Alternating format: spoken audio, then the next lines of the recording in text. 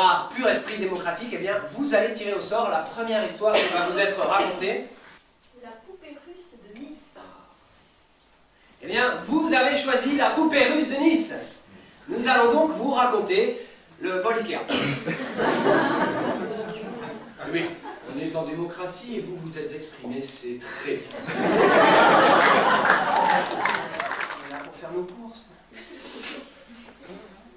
Et les courses, c'est une course. Tu croises des visages. Tu cherches un article parmi des milliers d'articles. Chaque semaine, les rayons bougent.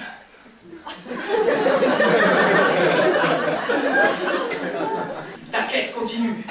Et tu aperçois sur le candidat de tout à l'heure, sur le parking. Alors tu accélères, tu prends un peu de vitesse. Tu salades, ouais, tu passes un rayon de cacahuètes, des produits apéritifs, de l'alcool, du vin.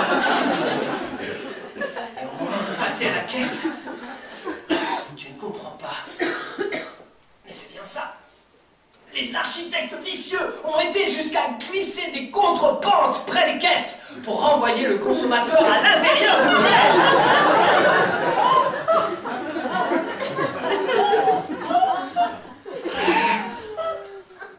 Et chérie, fais-moi plaisir, tu veux avoir un rigole. Et voilà comment notre knuff se retrouve sur la quatrième étagère de la cuisine des Dupouilles. Klug gaten gaten knuf.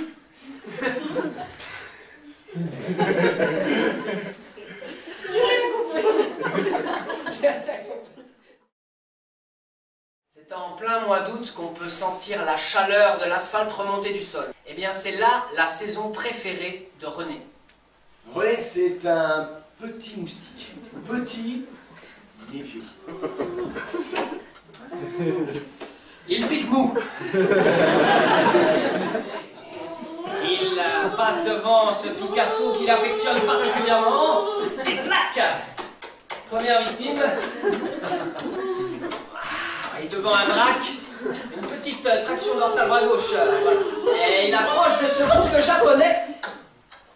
Et alors qu'il est en pleine succion dans le décolleté pigeonnant de cette jeune japonaise, Révélation. Waouh. Il aperçoit un Pollock. Tout le monde voit ce que c'est qu'un Pollock. Un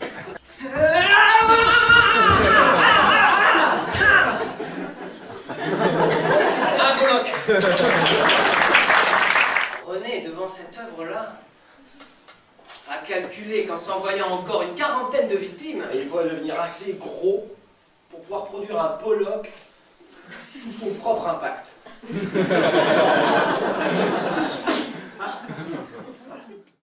quand j'ai aménagé à Paris, il y a un truc qu'on m'avait jamais dit, c'est la règle des 3-6.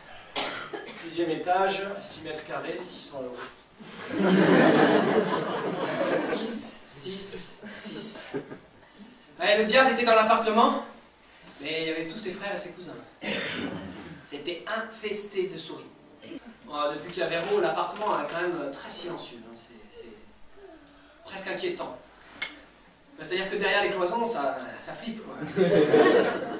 eh bien, bonsoir Jean-Denis. C'est ici à Souris-sur-Seine que l'impressionnant dispositif va être déployé. Une cloche. Véritable fleuron de l'industrie souricière, le système prévient en temps réel contre les attaques terroristes félines. Les autorités recherchent maintenant activement des volontaires pour poser les dispositifs autour des coups des ennemis. Hein. Qui irait accrocher une cloche autour du cou d'un chat si vous étiez des souris? Qui est capable d'éradiquer sa peur? Ouais, MC souris chaud, vas-y, tiens. Je vais vous mettre d'accord je tiens à préciser. Adaptation. Les méthodes ont changé. Je crois que c'est par le net maintenant qu'il faut passer. Je lui envoie un mail, quelque chose d'alléchant. Viagra Non. Rencontre coquine pour amitié féline, si affinité. Tout à coup sur l'écran arrive publicité. Pompe, pompe, pompe.